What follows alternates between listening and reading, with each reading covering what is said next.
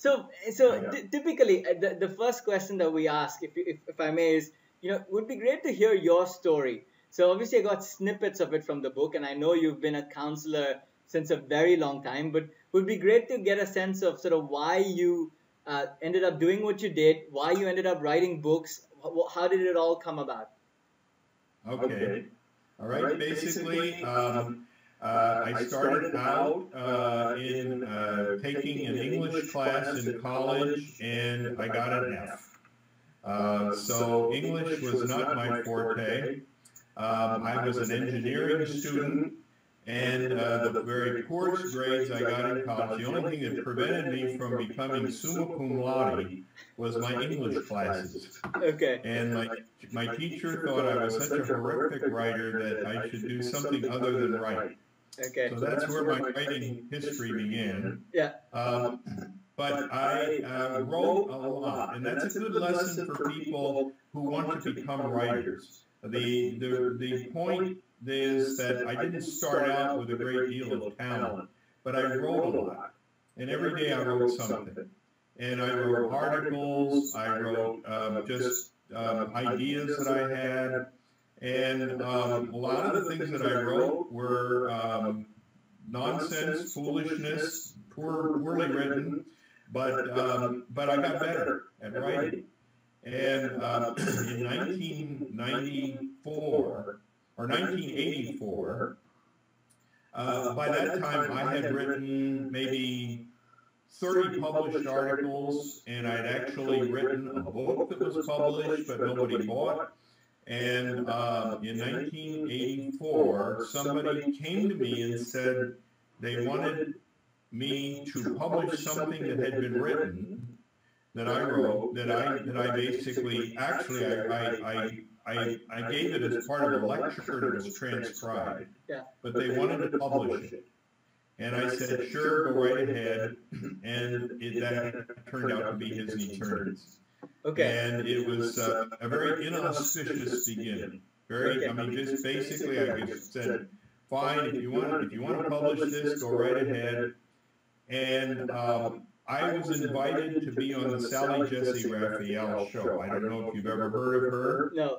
but she was a very popular uh, talk show television host and appealed to women. And I got on her show. I was the only man in sight. Uh, in the studio, there were 200 women in the audience. Every camera person was a woman. The person, the people who were on the panel with me were all women. I was the only man in the entire place. And the topic was infidelity. And I wrote in my book, His Needs, Her Needs, as you know, infidelity is a scourge. It is something to be avoided at all costs. And the other two women that were with me were saying that infidelity was a good idea for women. And so I was the only representative saying it's a bad idea. And when my little talk was over, I got a standing ovation.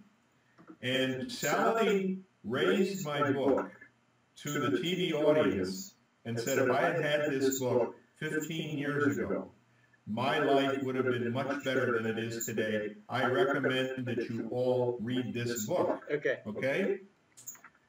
No bookstore had my book in it. it was basically a book that nobody had ever heard of before. Yeah. But within three days, there were orders for over 10,000 books. The publisher only had printed 2,000. And so they went mad, they got madly to work printing books like crazy, getting the books out there. And uh, ever since, the book has sold a minimum of about 100,000 a year, many times more than that. We have over three and a half million actually sold by now. And it is still selling just about as many books as it sold when it was published back in 1986. And since then, I've written uh, 18 books altogether, and um, none of them are as popular as His Needs, Her Needs. And and why? So did uh, so so two questions. One is why his needs, her needs. So why did you pick that? Was it just because you were doing a lot of marital counseling?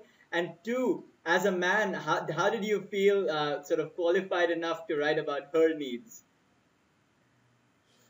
Well, I did a lot. I've done a lot of marriage counseling, and uh, basically, by the time this book came out, I I was operating 34 mental health clinics, Okay. and uh, and I'm a clinical psychologist, and I became quite good at helping people with their marital problems, and uh, the whole business of of the needs of men and the needs of women were things that I was spending a great deal of time studying. I did I did a whole series of of, of, of scientific studies on what men needed and what women needed. I I became uh, I became very very good at identifying the causes Yeah. of, of romantic love and what, what creates romantic love. I became an expert at helping people develop romantic love. So out of this background, uh, I wrote what, what became his needs, her. Fantastic. So now, now, you know, my next set of questions is going to be all about, I guess, towards marriage relationships and fidelity as such.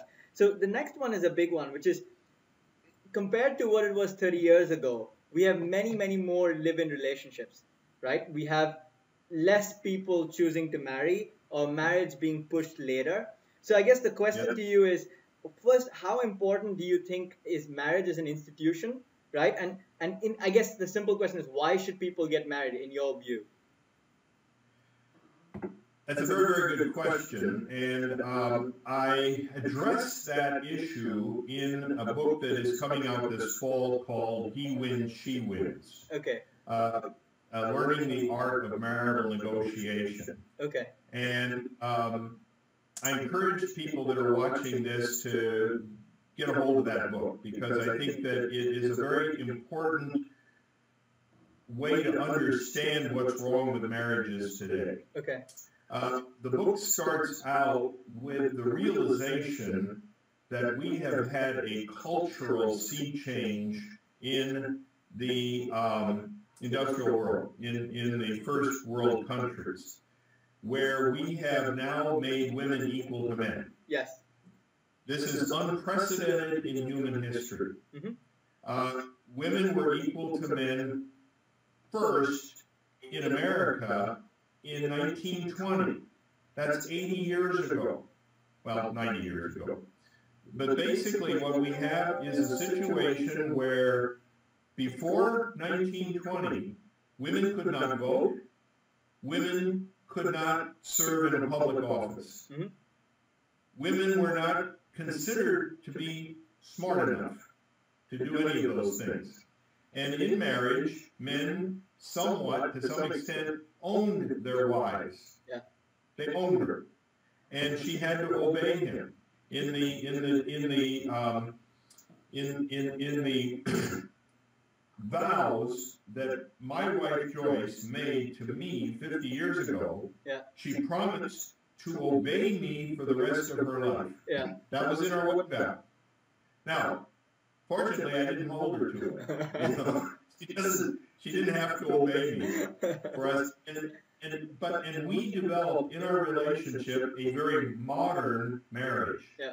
Uh, a marriage that was successful under the new terms of marriage, Mhm. which was equality. Mhm. Now, the, there are a lot of people that are having problems with equality, Mhm. and uh, and you begin with men.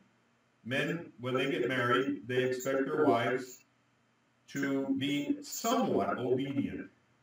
That isn't happening anymore. We don't have that anymore. Now, cultures, it's still that's still going on all over the world. You still have women obeying men, Yeah. but not in, in not in first world cultures. Yeah. Not in first world cultures. We all make women equal to men. Well, that creates a new problem for marriages, and that is that men have to negotiate with their wives. Instead of telling their wives what to do and having her dutifully obey, they've got to come to an agreement. And men don't know how to do that. They don't know how to do it. What they do is they say either they will sacrifice, I'll give you whatever it is you want. Yeah. Sometimes we call that capitulation. Yeah. And she's terribly upset when you don't want her, when you don't agree with her, so you agree with her. Yeah. Uh, the second is that you decide that you're going to try to force your will upon her. I call that the dictator approach. Mhm. Uh, the third approach is what we call dueling dictators, where, where when your wife finds you trying to make her do things, she comes back and tries to make you do things. So it's dueling dictators, okay? And the third is what I call anarchy, where all of a sudden, if you and your wife start fighting with each other, you come to realize that this is no way to live. So you go your way, she goes her way. You're still married, but you make your own choices and you ignore each other's wishes. I call all of those strategies win-lose strategies. And those are the common strategies in marriages today. They ultimately lead to the loss of love. They lost, you, you lose your romantic relationship, and in, in many cases, you get divorced. People look around and say, why should I be married Yeah. when I, I, I can make my own choices now? If I try to live with somebody and make my own choices, he should get mad at me. Yeah. So I don't think I, just, I want to. Win-win is the only way couples should negotiate in today's marriages. You must come to a win-win solution. Now, that's hard to do. Have you noticed in your marriage, in your short marriage, how hard it is to come to an enthusiastic agreement? Yeah. And all I'm saying is it's a skill set that unless you learn, you will not have a successful marriage. Yeah. So I've been training people how to, how to do what Joyce and I have been doing for 50 years. We've been married 50 years now, and we're happily married and we're in love. But we make our choices with each other in mind, and we make our choices together. So to answer your question quickly, um, what's happening to marriages today, and do we need them? Um, marriages are suffering terribly. People are getting divorced at unprecedented levels and they are not marrying at unprecedented levels. In other words, they're staying single. We now here in America have a majority of single adults in America. Why marry? And here's my basic thesis. This is my basic uh, position, and that is men and women need each other. Yeah. They need each. Women are just as smart as men but they have a different perspective than men. And if you can get a man and a woman to find an enthusiastic agreement, you come up with a wiser choice than what either one of them could have come up with. I think men and women are, are made to be together. They're made to be together physically, but they're also made to be together emotionally and mentally.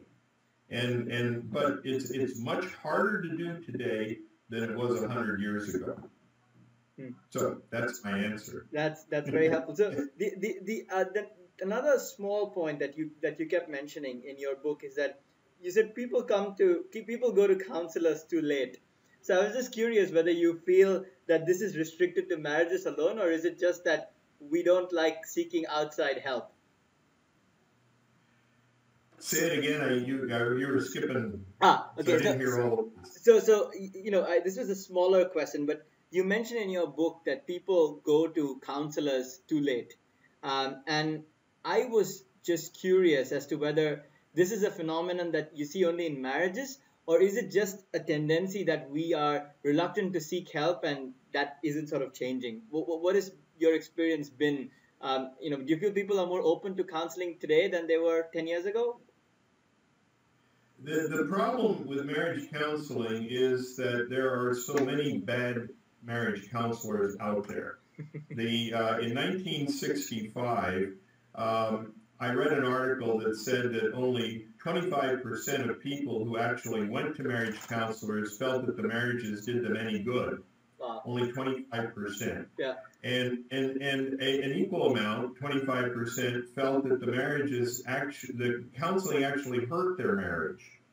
There was a 1995 consumers report that was done where all of the uh, of all of the um, mental health counseling that's available, um, marriage counseling scored the least effective Oh, wow. among the people that surveyed. Okay. So part of the problem is that most people that actually go to a marriage counselor don't get any help. Yeah.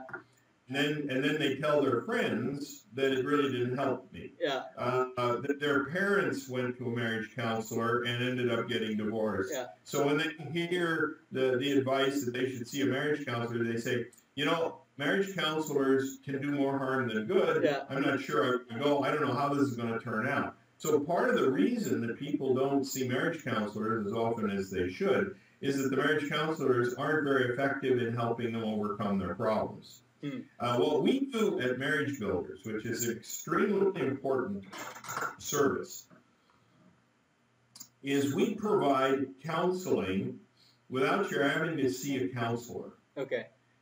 We do this in a variety of ways. We have, if you come to the marriagebuilders.com website, you will see uh, a, a host of articles. You'll see Q&A columns. You'll see a forum where you can join in, discuss your problems. We have, Joyce and I have a daily radio show that we do, Mhm. um, all free of charge. Okay. So in a sense, you can sort of tip your toe in the water and kind of see how you feel about it before you actually commit yourself to going into a waiting room and sitting there wondering what the counselor is going to be doing with you. Yeah. So we have an approach to saving marriages that really doesn't commit anybody to anything.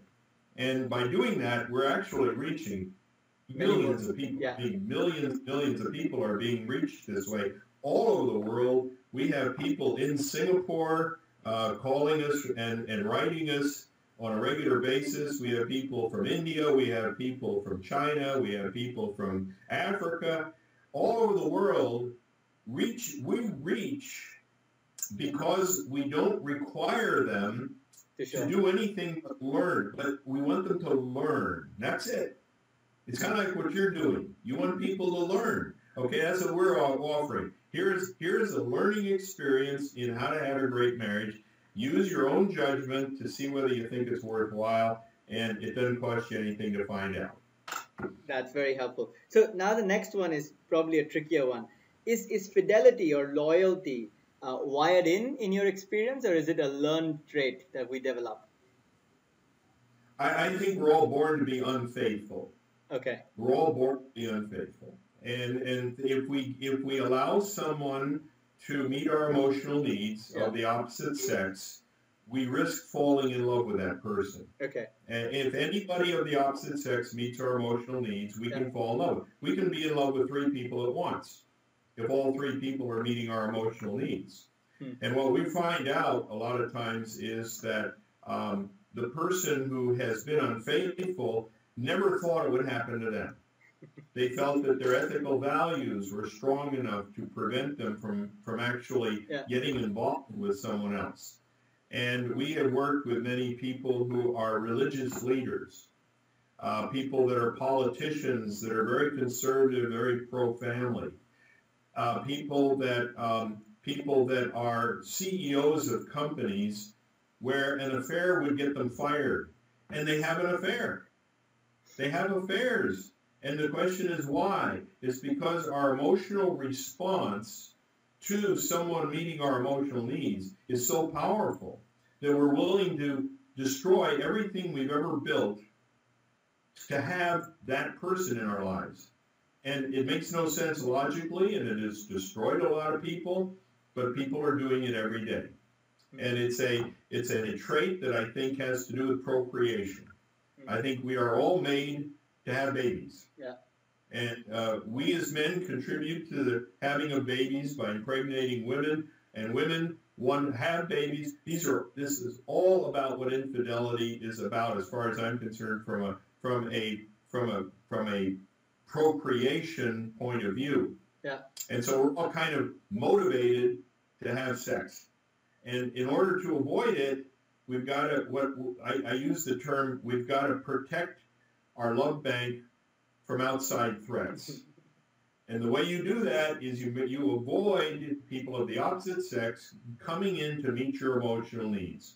And if they meet your emotional need for, say, conversation or admiration or physical attractiveness or a whole host of things, it, you can fall in love without ever thinking it'll happen to you. All it's one day you wake up craving this person. Yeah.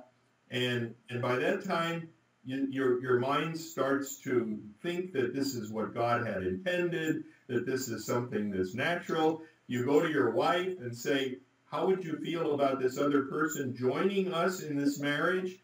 Ridiculous ideas, but at the same time, this is something we think it would be logical because we get so emotionally entrapped. so, so, so the next question then is what do successful marriages, in your experience, repeatedly do right? What are a few few things that you always see?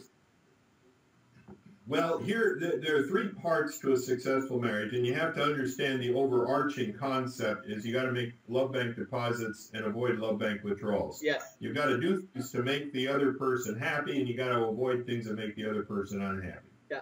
There are three ways of doing that. Number one is you have to know what their emotional needs are and you have to be able to become an expert at meeting those needs. In other words, you have to be an expert at making your, your wife happy. Mm-hmm.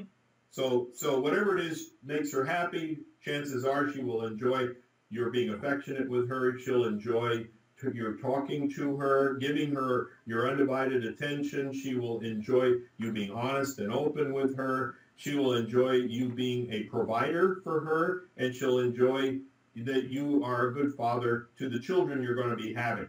All of that comes together so that she will be in love with you. You will make her very happy. Then you have to avoid making her unhappy. Yeah. And that is the, the these are categories that I call love busters. You you you can't make demands on her. You can't be disrespectful. You can't get angry with her. And that not being angry with her is very tricky. Yeah. Don't ever be angry with her. Okay. You can't um, you can't uh, be dishonest with her. You can't annoy her. Now the annoying thing is going to be next to impossible. Uh, basically, what, what what she needs to do is tell you that something you're doing is annoying, and you got to take it seriously, and you got to try to stop doing it, even though at the time you're going to think, "What? That annoyed you?" You got to make sure that you get rid of whatever those things are. The third, the last is independent behavior. You don't just go off and do what you please. You talk it over with her first. Make sure she's in agreement with you. Now, there's a third category, and that is lifestyle. Mm-hmm. Lifestyle means that the, the lifestyle you build as a couple has to be something that's agreed upon by both of you enthusiastically. How many children you're going to have, where you're going to worship, what kind of a car you drive, um, when when you see your in-laws, um, how you spend your money, all of these issues have to be agreed on together enthusiastically. Now, if you do those three things, I, I the way I call it, I call it extraordinary care. Extraordinary care.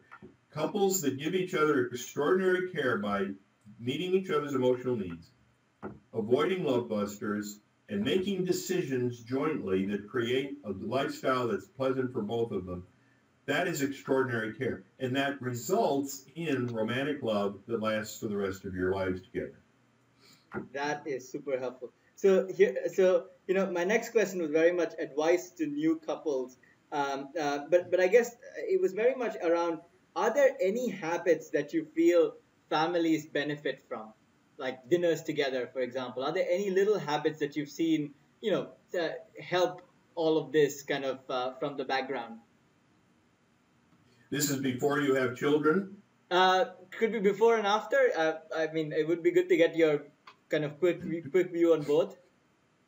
I I view those decisions. Yeah. as as being uh, idiosyncratic. Okay.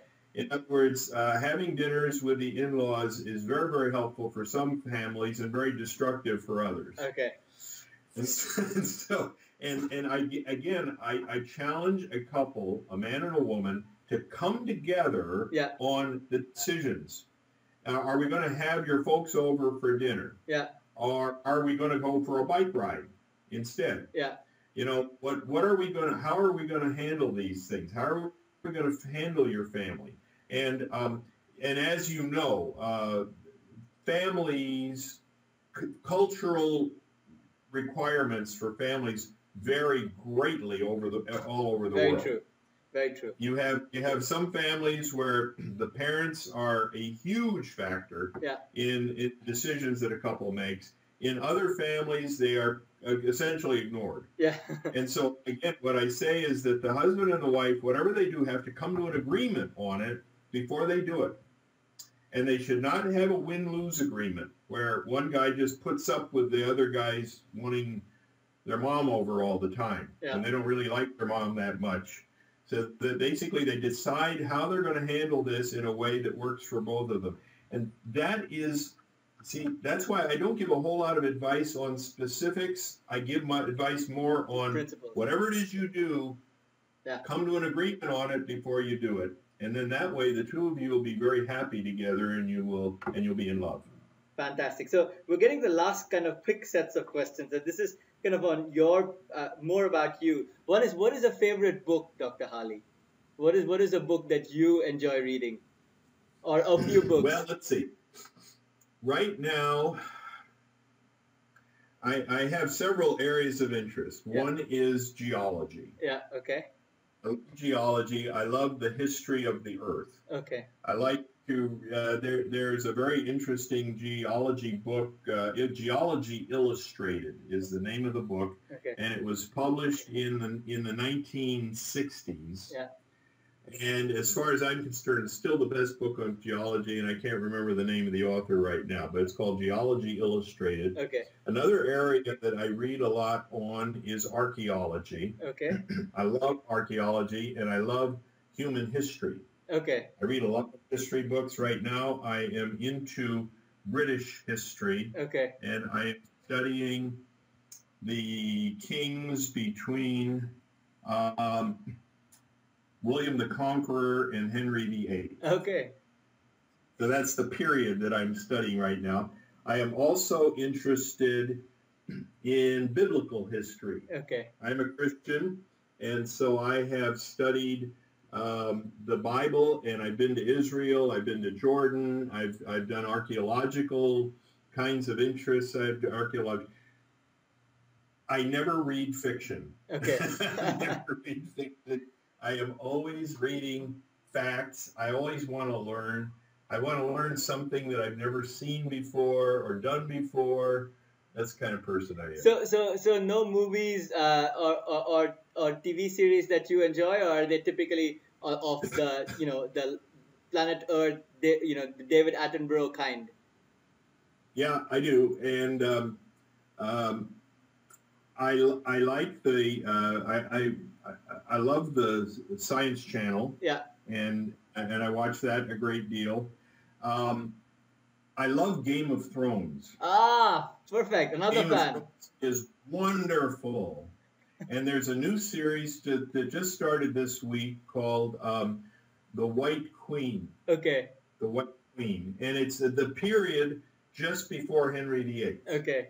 and it is a period that I'm very interested in, and um, that's a good that's a good series too. Uh, last night I watched um, um, uh, Gone Bad. What's the name of it? Breaking It's, Bad. Uh, Breaking Bad. I watched that last night. And, and why, why do you like the Game of Thrones? First of all, the acting is absolutely superb. Yeah. Uh, the writer, the writer, uh, the original writer, the guy that writes this stuff, what they're upset about is that he's not writing faster Yes. because they want to get more of these things out because they have become so popular. But the actors are superb. The the script is superb, and the context. The the you know they go all over the world to film this stuff, Mhm. and that is all superb. It's just incredibly creative, just Yeah. very creative. Fantastic. So the uh, com- coming to my final two questions. One is you you've published 18 books, probably a book a year, and you're obviously counseling and running you know a business in a way, and yet you know helping people. How, wha- what do you do to stay productive? What are some little habits of yours or routines of yours that help you stay productive, energized, happy? I would say that my marriage and my faith are the two most important parts of my life. Mhm. Uh, I believe that that my uh, my very good relationship with God is a great source of strength. Mhm. My great relationship with my wife is a great source of strength. Uh, those are the two things that bring us happiness in life. Yeah. Our marriage and our faith. And um, if I counted on anything else to give me happiness, I would be disappointed. So I would say that I, I gain a great deal of strength from from God. I gain a great deal of strength from my wife, and um, as a result, I'm also healthy. I'm, I'm over 70, and I'm very healthy. And as long as I'm healthy and my brain is functioning properly, I will probably be doing this for the rest of my life. Fantastic. So the final one would be: Is there uh, an inspirational quote, message, or some you know something that inspires you that you would like to share? Well, first of all, I want to let you know I would like your your your viewers know that I am a born again Christian. Yeah. I do believe in in God, and my relationship with Him is through Jesus Christ, who died on the cross to save us from our sins. Mhm. I also believe that the message of Christianity is love. Jesus says that they they will know you by your love. That's what Jesus said. Yeah. And that's what he told his disciples. We we are identified as a belief as a faith Yeah. by the way we love each other. Yeah. Uh, those who don't love each other aren't following the Christian faith. Yeah. Uh, there was a period of time in medieval history where people were being killed uh, because of religious reasons. Uh, true Christianity doesn't believe in any of that. That's a false Christianity. Yeah. And I believe that if, if, if you know a Christian well, and he's a born again Christian, you'll know that that person cares about other people Yeah. and will put himself out for other people. And I think that the most important and most valuable lesson we can learn in life is thoughtfulness, is concerning, considering other people before we do things, trying to make sure that we are a, a, a messenger of help and support for people who need it. And I think that when you learn that lesson, you go through life joyfully. It's life is a joyous experience. If you if you don't learn that lesson and you and you all you care about is yourself, uh, you become very depressed and miserable, and you find you know you wonder what life is really all about. Well, you've missed the boat because life is all about caring for each other. Uh, that's very, very lovely message, Dr. Harley. Thank you so much.